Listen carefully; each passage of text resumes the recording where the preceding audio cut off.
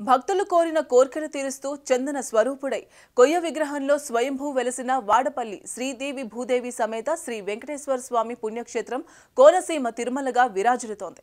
ఏడు శనివారాల వెంకన్న దర్శనం జన్మజన్మల పుణ్యఫలం అనే నానుడితో విరాజిల్లుతున్న వాడపల్లి క్షేత్రంపై టీవీ ఫార్టీ ప్రత్యేక కథనం.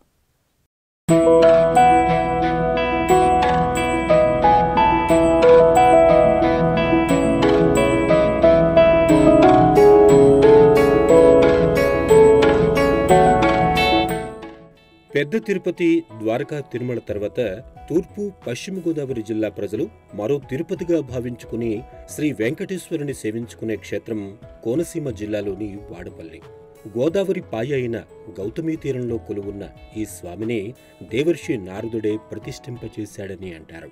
పురాతన చరిత్ర గల ఆలయాల్లో ఇది ఒకటి.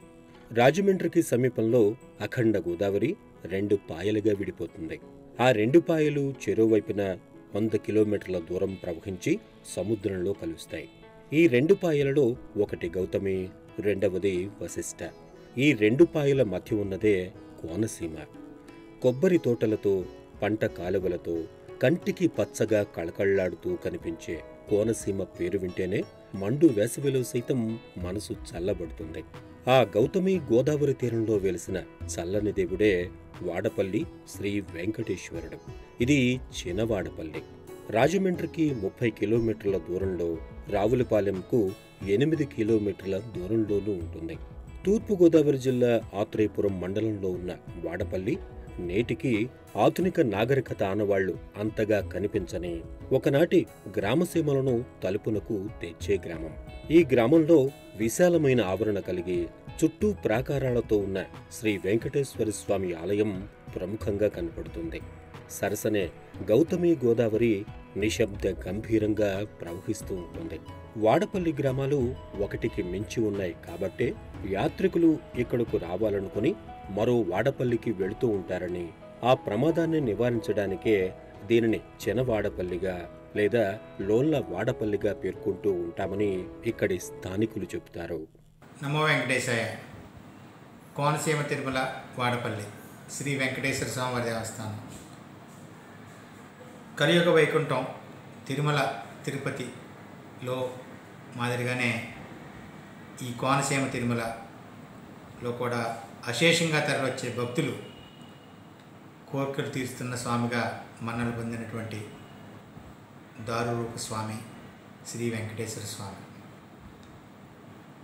వేలాదిగా తరలివచ్చే భక్తులు వారి వారి కోరికలను మొక్కుకుంటూ ఏడు శనివారాల వాడపల్లి వెంకన్న దర్శనం ఏడేడు జన్మల పుణ్యఫలం అనే ఒక ప్రగాఢమైన విశ్వాసం ఏదైతే ఉందో దాని ద్వారా భక్తుల యొక్క మన్నలు వేలాదిగా తరలివచ్చే భక్తులు. వారందరికీ చాలీ చాలని సదుపాయాలతో సుమారుగా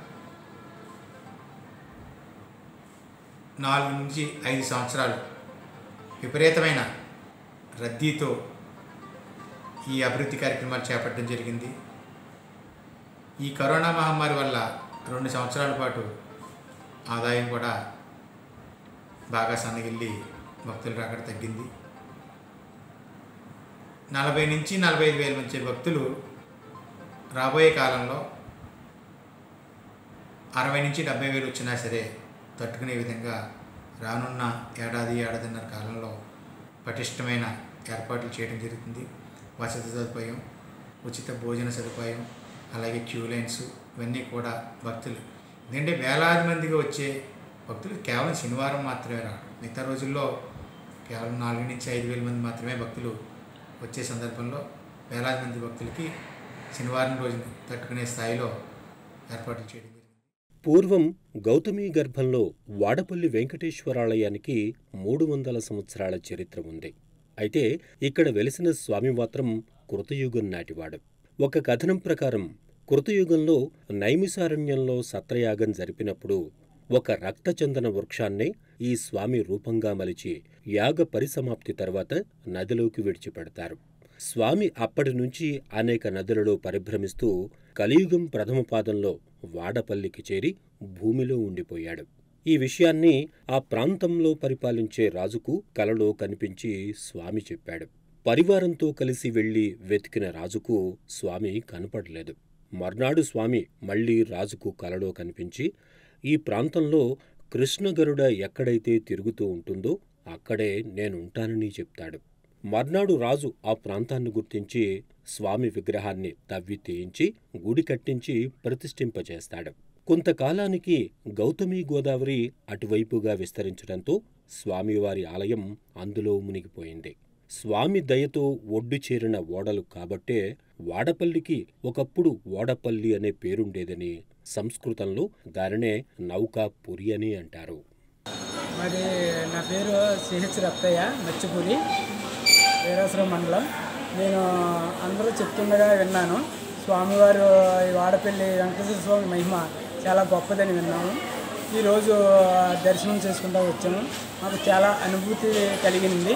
స్వామివారిని దర్శించుకున్న వెంటనే నేను ఇంకా ఆ దేవుడు కనుకరిస్తే ఇంకా ఈ గుడికి వద్దాం అనుకుంటున్నాను. నమో వెంకటేశాయ ఆ రోజుల్లో పెనుబోతుల గజేంద్రుడనే అగ్నికుల క్షత్రియుడు కొన్ని ఓడలకు అధిపతిగా ఉండేవాడు. ఓసారి తుపాను సంభవించగా అతని ఓడలన్నీ సముద్ర గర్భంలో అదృశ్యమవుతాయి.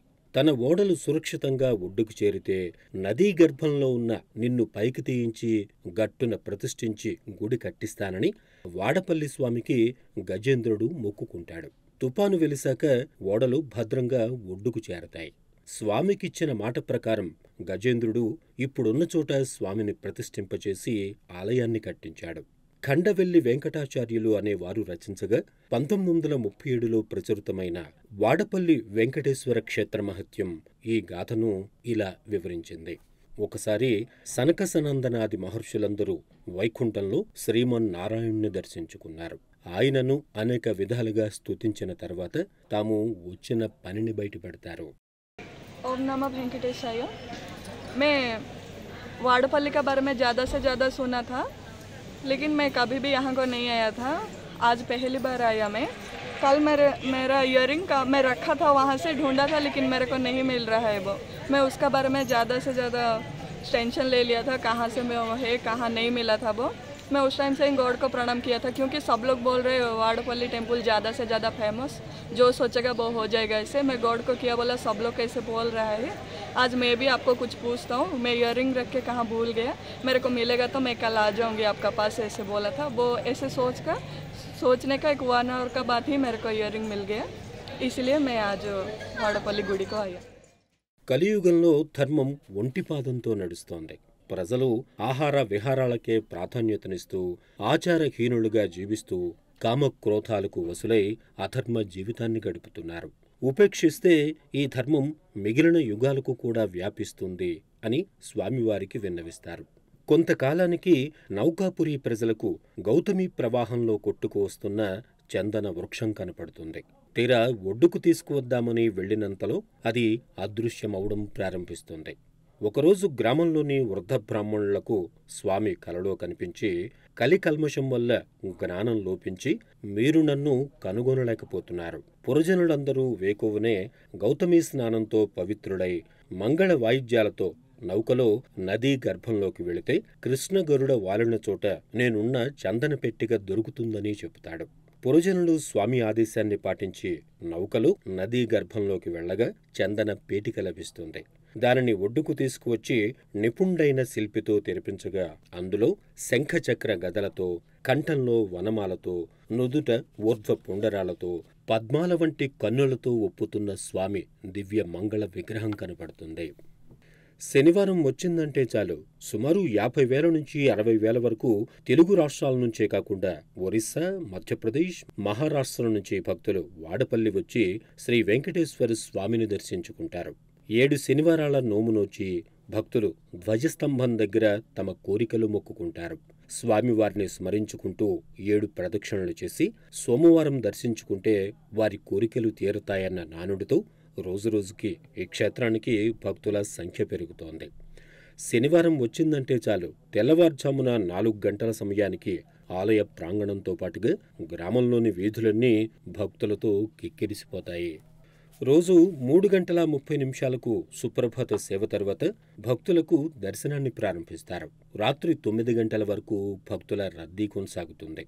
వచ్చిన భక్తులకు ఇబ్బందులు తలెత్తకుండా వారు సేద తీరేందుకు నాలుగు కోట్ల రూపాయలతో ప్రాకార మండపం పాలరాతితోనూ తీర్చిదిద్దారు. భక్తులకు ప్రసాద వితరణ అన్నదానం వివిధ ప్రాంతాల నుంచి కాలినడకన వచ్చే భక్తులకు అల్పాహారం భోజనాలు వారు విశ్రాంతి తీసుకునేందుకు సౌకర్యాలు కల్పిస్తున్నారు. కాలినడకన వచ్చే భక్తుల సంఖ్య ఐదు వేలకు చేరుతోంది. భక్తులకు ఎటువంటి ఇబ్బందులు తలెత్తకుండా ఆలయ చైర్మన్ రుద్ర రమేష్ రాజు ధర్మకర్తల మండలి సభ్యులు వీటిని పర్యవేక్షిస్తున్నారు.